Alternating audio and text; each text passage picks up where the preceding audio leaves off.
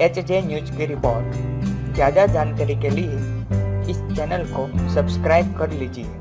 बिहार के मिथिलांचल यानी मधुबनी ज़िले में दूल्हों की मंडी सजती है, जहाँ अपने मनपसंद दूल्हा चुना जा सकता है। इस मंडी में बिकने के लिए तैयार बैठे दूल्हों को देखकर सब्ज़ी मंडी की याद आ जाती है।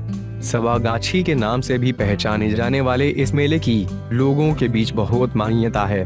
यहाँ खास तौर पर मैथिल ब्राह्मण परिवार के बेटे किस्मत आजमाने आते हैं।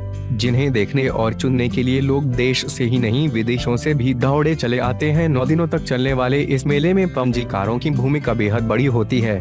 पंजीकर ही यहाँ तय होने वाले रिश्तों को मान्यता देते हैं। पंजीकरण में पिता पक्ष और ननिहाल पक्ष के साथ पीढ़ी तक के रिश्तों को परखा जाता है। किसी भी तरह का संबंध होने पर विवाह नहीं होता है, क्योंकि माना जाता है कि ऐसे में दोनों की नाड़ी समान होती है।